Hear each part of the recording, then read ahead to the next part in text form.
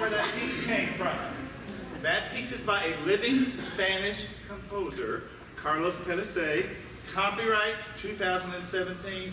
We are the first and only band in the United States who have played that piece of music.